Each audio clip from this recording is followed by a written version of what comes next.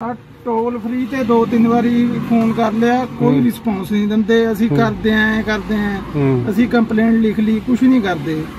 ਫਿਰ ਹਾਰ ਕੇ ਉਰੇ ਮੈਂ ਲੋਕਲ ਮਿਸਤਰੀ ਤੋਂ ਮੋਟਰ ਬਣਾਈ ਦੋ ਵਾਰੀ। ਦੋਨੋਂ ਵਾਰੀ ਸੜ ਗਈ। ਠੀਕ ਹੈ। ਹੁਣ ਤੀਜੀ ਵਾਰੀ ਤੁਹਾਡੇ ਕੋਲ ਆਏ ਆ ਹੁਣ ਆਏ ਵੀ ਠੀਕ ਹੈ ਤਸੱਲੀ ਹੈ ਮੈਨੂੰ ਕੰਮ ਦੀ। ਅੰਪੇਅਰ ਪੂਰ ਠੀਕ ਹੈ ਮੋਟਰ ਹਾਂਜੀ ਸਾਰਾ ਅੰਪੇਅਰ ਠੀਕ ਹੈ। ਪਾਣੀ ਠੀਕ ਹੈ। ਪਾਣੀ ਠੀਕ ਹੈ ਜੀ। ਕੰਮ ਠੀਕ ਲੱਗਿਆ ਸਾਡਾ ਹਾਂਜੀ ਠੀਕ ਲੱਗਿਆ ਤੁਹਾਡਾ ਕੰਮ। ਸਤਿ ਸ੍ਰੀ ਅਕਾਲ ਜੀ ਤੁਸੀਂ ਜੁੜੇ ਹੋ ਪੰਜਾਬੀ ਡੈਰੀਮੈਨ ਸੋਲਰ ਤੇ ਜ਼ਿਮੀਦਾਰਾ ਸੋਲਰ ਰਾਜਪੁਰਾ ਦੇ YouTube ਚੈਨਲ ਨਾਲ ਬਹੁਤ ਸਾਰੇ ਸੋਲਰ ਪੰਪ ਲੱਗ ਚੁੱਕੇ ਨੇ ਤੇ ਬੜੀਆਂ ਅਲੱਗ-ਅਲੱਗ ਕੰਪਨੀਆਂ ਦੇ ਲੱਗੇ ਨੇ।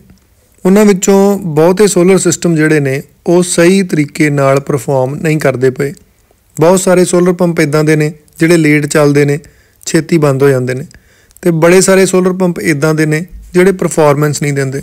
ਇਹਨਾਂ ਵਿੱਚ ਬਹੁਤ ਸਾਰੇ ਸੋਲਰ ਪੰਪ ਸੋਲਰ ਸਿਸਟਮ ਇਦਾਂ ਦੇ ਨੇ ਜਿਹੜੇ ਅਨਪ੍ਰੋਫੈਸ਼ਨਲਸ ਦੁਆਰਾ ਲਾਏ ਗਏ ਨੇ ਤੇ ਬਾਕੀ ਸਿਸਟਮ ਗਵਰਨਮੈਂਟ ਦੀਆਂ ਸਕੀਮਾਂ 'ਚ ਲੱਗੇ ਨੇ, ਉਹਨਾਂ ਦੇ ਵੀ ਟੋਲ ਫ੍ਰੀ ਨੰਬਰ ਤੇ ਕਾਲ ਕਰਨ ਤੇ ਇਹਨਾਂ ਸਿਸਟਮਾਂ ਦੀ ਸਰਵਿਸ ਵਾਸਤੇ ਬਹੁਤੀ ਵਾਰ ਕੋਈ ਨਹੀਂ ਆਉਂਦਾ। ਇਹ ਜਿਹੜਾ ਸੋਲਰ ਸਿਸਟਮ ਤੁਸੀਂ ਵੀਡੀਓ ਦੇ ਵਿੱਚ ਵੇਖਦੇ ਪਏ ਹੋ ਟਾਟਾ ਕੰਪਨੀ ਦਾ ਇਹ ਸਿਸਟਮ ਹੈ ਤੇ ਇਹਦੇ 'ਚ ਮੋਟਰ ਦੇ ਵਿੱਚ ਪ੍ਰੋਬਲਮ ਸੀ। ਕਈ ਵਾਰ ਟੋਲ ਫ੍ਰੀ ਨੰਬਰ ਤੇ ਕਾਲ ਕੀਤੀ, ਪਰ ਕੋਈ ਇਹਨੂੰ ਵੇਖਣ ਨਹੀਂ ਆਇਆ। ਇਹ ਸੋਲਰ ਸਿਸਟਮ ਪਿੰਡ ਬੀਵੀਪੁਰ ਦੇ ਛੱਪੜ ਤੇ ਲੱਗਾ ਏ। ਛੱਪੜ ਦਾ ਪਾਣੀ ਕੱਢਣ ਵਾਸਤੇ ਮੋਟਰ ਸੜ ਗਈ ਸੀ ਤੇ ਪੰਚਾਇਤ ਨੇ ਆਪਣੇ ਵੱਲੋਂ ਇੱਕ ਦੋ ਵਾਰ ਮੋਟਰ ਰਿਵਾਈਂਡ ਕਰਵਾਈ, ਪਰ ਮੋਟਰ ਨੇ ਪਰਫਾਰਮੈਂਸ ਇੰਨੀ ਵਧੀਆ ਨਹੀਂ ਦਿੱਤੀ, ਮੋਟਰ ਫਿਰ ਜਲ ਗਈ। ਹੁਣ ਇਹਨਾਂ ਨੇ ਆਪਣੇ ਨਾਲ ਸੰਪਰਕ ਕੀਤਾ ਤੇ ਆਪਾਂ ਇਹ ਮੋਟਰ ਦੁਬਾਰਾ ਰਿਵਾਈਂਡ ਕਰਕੇ ਚਲਾਈਏ। ਤੁਹਾਡਾ ਜੇ ਕੋਈ ਸੋਲਰ ਸਿਸਟਮ ਇਦਾਂ ਖਲੋਤਾ ਏ, ਤੁਹਾਡੇ ਸਿਸਟਮ ਦੇ ਵਿੱਚ ਕੋਈ ਪ੍ਰੋਬਲਮ ਹੈ ਤੁਸੀਂ ਸਾਡੇ ਨਾਲ ਸੰਪਰਕ ਕਰ ਸਕਦੇ ਹੋ।